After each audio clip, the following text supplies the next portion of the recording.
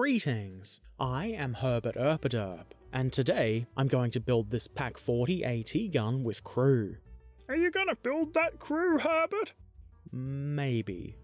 As the box would suggest, this is a 28mm scale plastic model kit from Rubicon Models. The back of the box is pretty typical. There's a couple of paragraphs of words that say things. Things about the Pak 40's development and use through World War II. There's also a very basic painting guide and a 3D render showing the gun and how you might set it up with the crew. Inside the box, sprues. There's one sprue for the gun itself, and it looks rather good. It's moulded nice and neatly, and there's not much in the way of mould lines. They are, of course, there, as always, but it's not going to be a lot of work to clean them up. This is, in fact, primarily a gaming model, though you can, of course, use it for display if you like. It'll work perfectly well for that too. But it is primarily a gaming piece. So, as you're probably sick of hearing me say, some of the detail will be a little simplified, or just plain omitted. And obviously, that means there aren't going to be as many parts as you might find on a model designed specifically for display. I don't consider this a problem, of course, and there are enough parts here for a reasonable amount of detail, and they're quite nice. In addition to the gun sprue, there are three sprues with figures. This gun has six crew figures, and they're not too bad looking really. As with the rest of the models, Rubicon's figures are getting better with time as well. These will need a little bit more cleanup than the parts for the gun, but still nothing too taxing. The instruction sheet looks pretty much like every other set of Rubicon instructions, and that's certainly a good thing. Though there were a couple of very minor issues in this set. I'll talk about them when I get to them. Otherwise, things are easy to understand and follow, which is what I expect and what instructions really should be. Let's use those instructions now to guide us in the gluing together of some bits of plastic.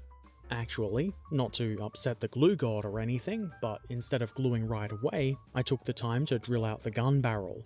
The drill bit that I've used is definitely smaller than the opening of the barrel should be, so I make it a bit wider with my knife. Probably still not quite accurate, but it's better than it was before, and certainly a lot better than having a solid flat surface there.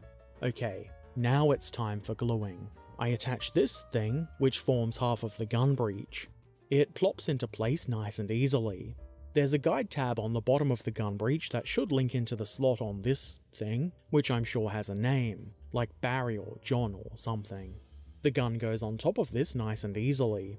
The instructions don't actually show that you should join these two parts, and the diagram does show that it's already in place. It's not a huge problem, and I was obviously able to figure out what was going on, I guess this is just something that was able to sneak past proofreading or something like that. Anyway, next, we build the gun holdy bit. Such technical terminology. If you want the gun to be movable, you'll have to glue the two halves of the holdy bit together and sandwich the gun in between them. It is a little bit fiddly, but not the hardest thing to do. You could also just glue it all together, which would be a bit easier. I am going to glue all of this together so that it won't move, but not until I've got all of the things on and can determine how I want the gun to be elevated. One of the things I add is this thing, which is, I think, part of the gun shield. It is a little bit fiddly to get onto the bottom of the gun, and I had to apply some pressure to do so, and the smallness of the part does mean it's kind of hard to apply pressure without it just flying away, but I got there in the end, and I think it's even up the right way. Amazing. Next, I add this thing, which I think is the gun side. though of course I don't know anything about these guns, so I'm just guessing. There isn't actually anything to guide this, but this is where it looks like the instructions wanted. Then I add this part with the elevation and traverse controls. I forgot to film myself actually putting it on, but it's not too tricky to do. After that, I put on the gun shield. There's a few contact points for this, so it's fairly easy to do. You may find you need to apply some pressure, and when you do, be careful not to break any of the parts off with your mighty strength. That's the upper section of the gun done. Nice, quick, and easy. Time for the gun carriage, starting with the gun trails. These don't really need much done to them. This one, which I think is the left side, can you not tell your left from right, Herbert? I can, but I guess it really depends on which way you're looking at the gun. Anyway, this thing goes on here, and I think it's the towing bit. If you're building this folded up in towing mode, you would attach this differently, and if you are doing that, refer to the instructions. There's a similar story with the other trail, which has this thing which in the deployed position goes here. If you want to build the transport mode version of this, it would go between both trails, connecting them together. I follow this by gluing the lower bit of the gun shield onto the frame. There is, again, a different part if you want to build the gun in transport mode. Two parts, actually, because the lower part of the shield folds up. Obviously, since I'm building a deployed gun, I use the single part, and thanks to the keying, it's pretty easy to put this together. Next, it's time to connect the gun trails to the rear section of the framey bit. Initially, this seemed like it would be tricky, but you can actually hook the trails onto the frame and they'll stay there. I make sure that they are the right way up, and then I glue that half of the framey bit onto the forward half, and I'm trying not to knock the piece of gun shield out of place, but it happened anyway. If you want, you can leave this so the gun trails can be moved. I've glued them into place because I don't want them wiggling around all willy-nilly. The wheels come next, because why not? There is a little bit of play in these, and I felt a need to apply some pressure, but they're not too hard to apply nice and straight. And that's the lower half of the gun done. It was really quite easy. Now seems like a good time to join the upper and lower assemblies, so I do that.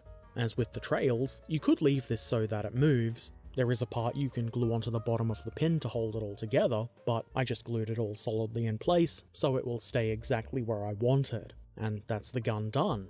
Looks good, but that's not all that comes in the kit. We get some loose pieces of ammo, there's also two ammo crates, which are closed, and one which is open, and you can fit three rounds into this, which is what I've done. I do like that you don't have to put three in. You could put two, or one, or even none. Amazing. You could also glue the lid into place if you really wanted to. I've obviously not done that, but I did glue the rounds into the box. I do quite like these extra bits, though it does mean that I now feel obligated to attach this model to a base. I'm not going to do it now, but I will at some point. Not only do we get some nice pieces of unused ammo, there's also a couple of spent casings. The ends of these are solid, so I drilled them out, and that should make them look a bit more convincing. Okay, this is one of those rare times where I'm going to build the crew. Most of the figures in this kit go together in the same way, though one of the figures does have a two-part torso, which is simple to put together, and once you've got the torso ready you can glue the head on, or the arms if you prefer. Do it in whichever order makes the most sense to you. Arms come next, and on this figure, that's a single part, with binoculars. That's why the head went on first. All of the arms and heads are designed to go with particular bodies and not be mixed and matched, but if you really want to, you can probably do it anyway. This assembly is like most figures in this scale. It's pretty easy, though you will probably end up with some gaps at the shoulders, which really is not a big issue. It shouldn't be hard to fix them with some putty. There's a couple of figures holding shells, and these are only slightly more fiddly to put together than the other figures. You've just got to be a bit more careful with the arms so that they're holding the shell in a convincing way. Obviously I haven't shown myself assembling all of the figures, but I did do it, and with that, the plastic German Pak 40 AT gun in 28mm scale from Rubicon Models is completed. I'm rather pleased with the result, I think it's very good. There was, as I mentioned earlier, that one little issue with the instructions. It is unusual to see an error like that in Rubicon's instructions, but nobody's perfect, and it's not exactly something that prevents the model from being completed. It's just something people should be aware of so they don't get confused. As I said earlier, it's not quite as detailed as a display model might be, but that's not the main purpose of this. The reason I keep pointing this thing out is, for some reason, there is the occasional buffhead that doesn't get it, and has to whine about these models not being the same as their 35th scale display pieces. Oh well, it's very nice for what it is, and I'm sure it would be quite useful in games like Bolt Action, assuming there's armour for it to shoot at. I don't think this is really an anti-infantry weapon. I wouldn't actually know if it's any good in those games, and I don't especially care if it is. It looks cool, so it's got a place in my army. I've clearly not been able to set up the crew as they should look, and that can wait for a base for it, I've just blue tacked them down. I may actually try to be clever and magnetize the crew so they can be removed if killed. Not really sure if that's worth it or even relevant for bolt action, Anyway, I won't be doing the basing anytime soon, so that's something for future Herbert to worry about. This is the voice of future Herbert! Fuck you!